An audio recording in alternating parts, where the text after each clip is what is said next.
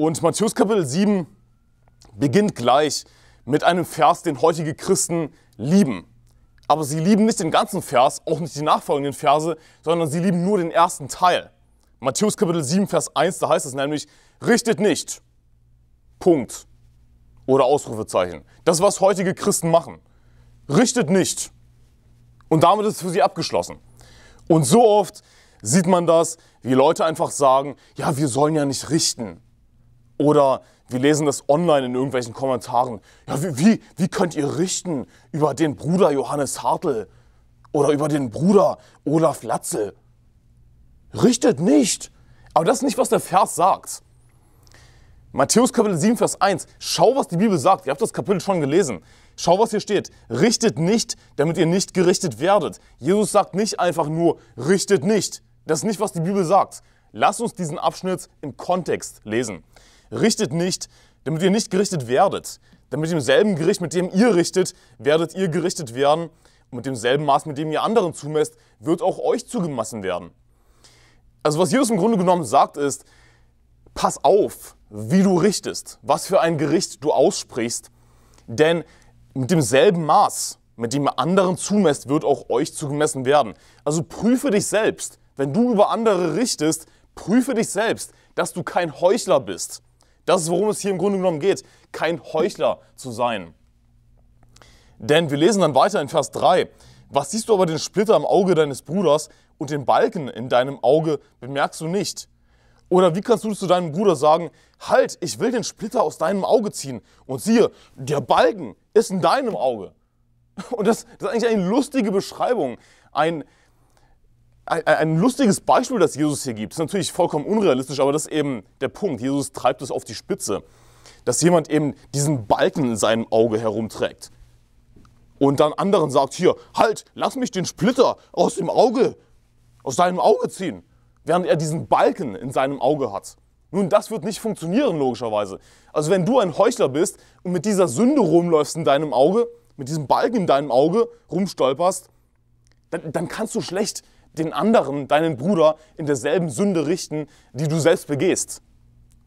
Sollen wir Heuchler sein? Nein, natürlich nicht. Aber sagt Jesus hier, richtet nicht, Punkt. Das ist nicht, was die Bibel sagt. Denn was sagt Jesus, was sagt Jesus an anderer Stelle? Jesus sagt, richtet nicht nach dem Augenschein, sondern fällt ein gerechtes Urteil. Also die Bibel sagt uns, dass wir ein Urteil fällen sollen. Sollen wir richten? Ja, wir werden tatsächlich dazu aufgefordert zu richten. Ich meine, die Bibel sagt auch, wisst ihr nicht, dass die Heiligen die Welt richten werden? Und dann heißt es weiter so ungefähr nur zitiert, wenn nun durch euch die Welt gerichtet werden soll, seid ihr dann unwürdig, über die allergeringsten Dinge zu entscheiden? Wir als Christen sollen richten. Wir sollen vor allem natürlich Gottes Gericht aussprechen, das wir schon in seinem, Wort, in seinem Wort niedergeschrieben finden. Wir sollen aber eben nicht nach dem Augenschein richten, sondern ein gerechtes Urteil sprechen. Wir sollen keine Heuchler sein und wir sollen nicht andere danach beurteilen, wie sie uns scheinen. Ja, wir kennen jemand anderes vielleicht noch gar nicht wirklich. Er sieht vielleicht nur komisch aus und haben schon gleich dieses Urteil im Kopf. Nun, das ist natürlich falsch. Ja. Wir sollen ein gerechtes Urteil sprechen. Die Bibel sagt nicht, richtet nicht, sondern richtet nicht, damit ihr nicht gerichtet werdet. Also, du willst nicht gerichtet werden, nun dann solltest du andere nicht richten. Ja? Wenn du diese Sünde hast, diese fette Sünde, die jeder sehen kann, dann solltest du deinen Bruder nicht in derselben Sünde richten. Das ist Heuchelei.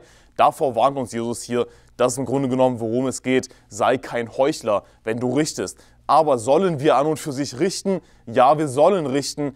Und wir müssen sogar richten. Ansonsten könnten wir niemandem sagen, hey, so kommst du in den Himmel. Ja? Nicht durch deine guten Werke. Dadurch wirst du leider zur Hölle fahren sondern du musst an den Herrn Jesus Christus glauben. Siehst du, jedes Mal, wenn wir Seelengewinn gehen, sprechen wir im Grunde genommen ein Urteil aus, dass derjenige, mit dem wir das Evangelium verkündigen, nicht gerettet ist. Und natürlich machen wir das auf eine freundliche Art und Weise, nicht wahr? Aber wir sprechen ein Urteil aus und wir müssen dieses Urteil aussprechen, wenn wir unseren Nächsten wirklich lieben. Denn wenn wir unseren Nächsten lieben, dann wollen wir, dass er einsieht, ja, dass er auf dem Weg zur Hölle ist. Und wir wollen ihm eben zeigen, wie er in den Himmel kommt, nicht wahr? Dazu müssen wir ein Urteil sprechen. Und Jesus sagt, Äh, wer an den Sohn glaubt, der wird nicht gerichtet. Wer aber dem Sohn Gottes nicht geglaubt hat, äh, der ist schon gerichtet.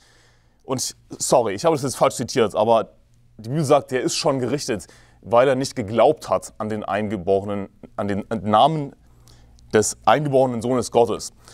Und äh, lass mich das am besten aufschlagen, bevor ich hier noch weiter stolper über diesen Vers in Johannes Kapitel 3. Da heißt es in Vers 18, Johannes Kapitel 3, Vers 18, wer an ihn glaubt, wird nicht gerichtet. Wer aber nicht glaubt, der ist schon gerichtet, weil er nicht an den Namen des eingeborenen Sohnes Gottes geglaubt hat. Siehst du, der ist schon gerichtet, derjenige.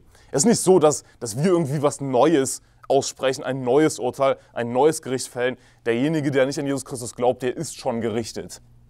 Und wir sprechen es einfach nur aus, was Gott schon gerichtet hat.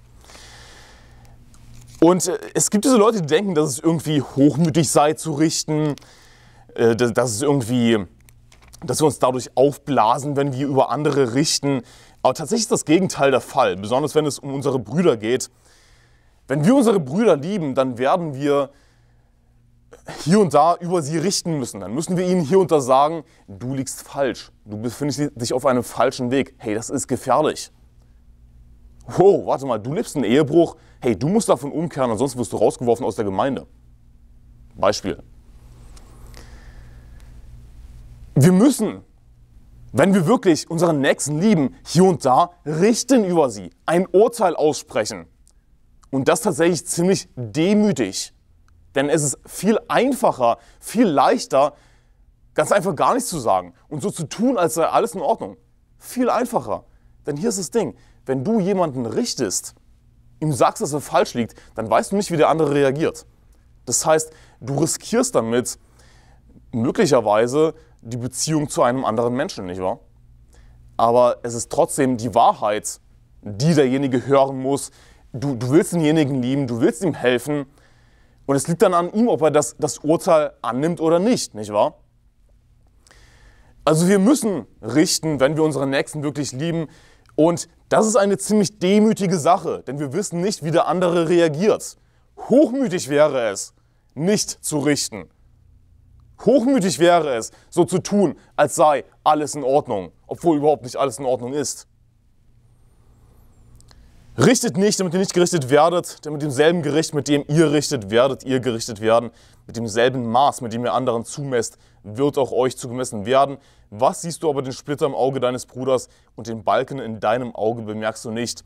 Oder wie kannst du zu deinem Bruder sagen, halt, ich will den Splitter aus deinem Auge ziehen und siehe, der Balken ist in deinem Auge. Du Heuchler, ziehe zuerst den Balken aus deinem Auge, und dann wirst du klar sehen, um den Splitter aus dem Auge deines Bruders zu ziehen. Also was ist das Ziel? Sollten wir den Splitter aus dem Auge unseres Bruders ziehen? Ja, natürlich. Einen Splitter im Auge zu haben, ist verdammt schmerzhaft. Ich meine, möchtest du dann nicht deinem Bruder helfen? Möchtest du dann nicht ihm helfen, von dieser einen Sünde oder was auch immer umzukehren? Natürlich, aber dazu solltest du da, dazu darfst du kein Heuchler sein. Ich meine, wenn du diesen Balken in deinem Auge hast, wie willst du dann den Splitter sehen? Du bist blind und die Bibel spricht davon, wenn jemand im Fleisch wandelt, ja, dass die, die Finsternis seine Augen verblendet hat.